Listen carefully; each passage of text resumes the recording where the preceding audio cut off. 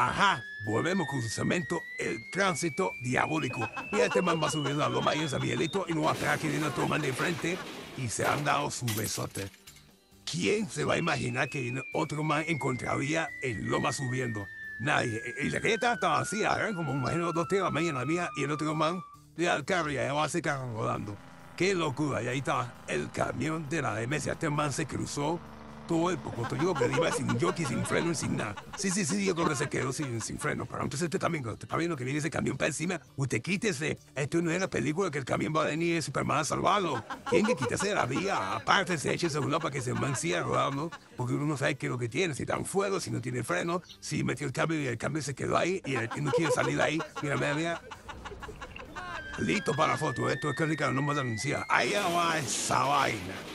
Qué lío con el bote. Pero bueno, no le diga a nadie gracias a Dios. Y entonces sale mira, ¿a dónde se fue? ¿A dónde se fue la pobre? Ay, a correr al perro. Esta vaina, es, Cuatro más fast después. esta vaina es clásica en tu casa.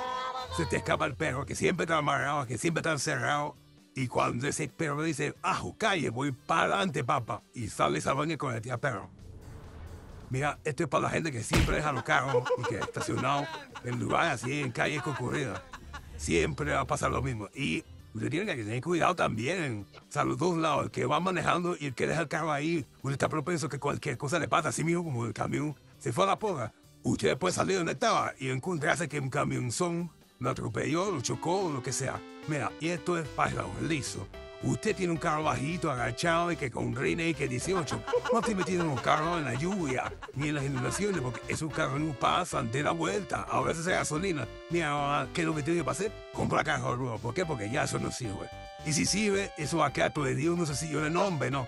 Yo no sé, aquí va a aparecer un par de talleres que van a decir que pueden ayudar y limpiar el carro. Así que eso también, para que la gente sepa. Bueno, se despide usted, el flautista de Villalucre.